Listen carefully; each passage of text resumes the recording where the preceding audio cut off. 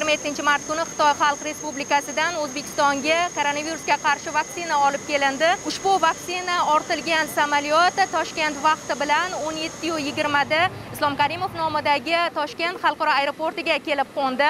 Э, bizga berilgan ma'lumotlarga ko'ra e, samolyotda bir million dozada o'zbekiston va xitoy hamkorligida ishlab chiqarilgan zf uzvak yigirma nol bir vaksinasi olib kelindi va bu vaksina belgilangan ro'yxat bo'yicha belgilangan tartibda hududlarga teng miqdorda taqsimlanadi. Bu vaksinani albatta afzallik tomoni e, bizni uchinchi uni klinik tekshiruvi e, o'zbekistonda o'tkazildi. Yetti mingdan ortiq odamlarda va u ijobiy natija bergan. Э, o'zini eng xavfsiz vaksinalardan ekanligini ko'rsatdi. Va mana yaqin orada shu э, aprel oyidan boshlab vaksinatsiyani boshlaymiz. Buning uchun bizada hamma tayyorgarchilik ko'rilgan uch mingdan ortiq e, vaksinatsiya emlash punktlari tashkil qilingan sakkiz yuzdan ortiq mobil vaksina guruhlari tashkil qilingan va eng asosan ana shu vaksina olishi lozim bo'lgan aholini guruhlarini ro'yxati shakllantirilgan. Vaksinani qabul qilib olish jarayonida hukumat va parlament a'zolari turli vazirlik va idoralar mas'ul xodimlari vaksinani ishlab chiqilishi va tadqiqot jarayonlarida qatnashgan olimlar hamda ommaviy axborot vositalari xodimlari ishtirok etishdi.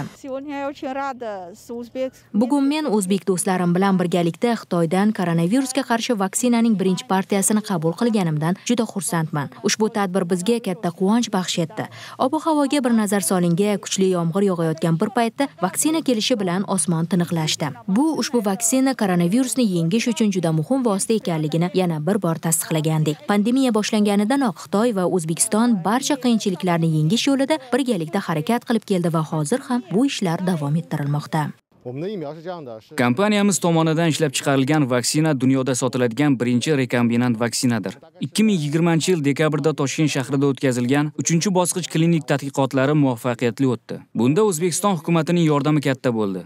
Biz hozirda o'zbekistonda vaksinani birgalikda ishlab chiqish va uni bozorga muvaffaqiyatli targ'ib qilish bo'yicha hukumatingiz bilan strategik sheriklik aloqalariga egamiz. Biz vaksinalarni sotish sanoatlashtirish va boshqa yangi vaksinalarni ishlab chiqish bo'yicha hamkorlikni yanada mustahkamlashni rejalashtirganmiz. Mazkur vaksina tadqiqotlarida innovatsion rivojlanish vazirligining ilg'or texnologiyalar markazi va sog'liqni saqlash vazirligi huzuridagi virusologiya ilmiy tadqiqot instituti olimlari faol qatnashishdi. Nojo'ya ta'sirlari juda ham kam bo'lganligi samaradorligi yuqori eng muhimi xavfsizligini ko'zimiz bilan ko'rib ishonch hosil qilgandan keyin davlat ro'yxatdan o'tkazib qisqa muddatlarda mana shu o'zbekiston brendi ostida o'zbekcha qadoqlangan yangi vaksinani mana xalqimizga bir million doza taqdim qilyapmiz. Bu jarayon albatta birinchilaridan biri o'zbekistonda tashkil qilindi uchinchi faza sinovlari va e, mana shu jarayonda o'ttizdan ortiq bizni olimlarimiz yuzdan ortiq vrach shifokorlarimiz ishtirok etishdi va juda ham sifatli bir natijalarni biz shu vaksinani yaratilish jarayoniga taqdim qildik. Va buni natijasida mana birgalikda yaratuvchi sifatida mamlakat sifatida tan olinib kelajakda mana shu vaksinani keng miqyosda tijoratlashtirishga regionimizda va buni ishlab chiqarishini o'zbekiston tashkil qilishga hozir harakatlar ketyapti. Mas'ullarning aytishicha bir million dozada keltirilgan ushbu vaksina hududlarga teng taqsimlanadi va sovuqlik zanjiri uzilmagan holda yetkazib beriladi.